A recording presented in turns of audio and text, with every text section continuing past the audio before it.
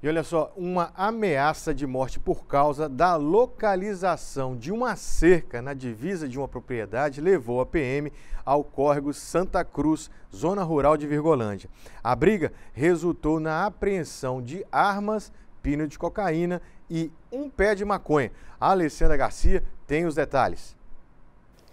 Tomás, quando essa discussão, que até então, de acordo com a polícia, teria sido provocada por danos a uma cerca elétrica, quando essa discussão evoluiu para ameaça de morte, a polícia então foi chamada por uma pessoa, um desses vizinhos, uma pessoa que tem 48 anos de idade. Essa pessoa então chamou a polícia para intervir nessa situação.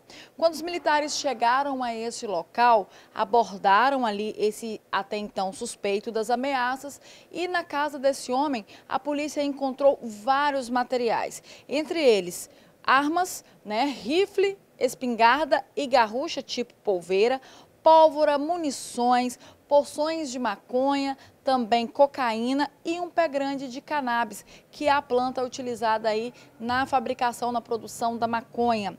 O homem foi preso em flagrante e todos esses materiais aí encaminhados para a delegacia da cidade de Goiânia. Tomás, é com você.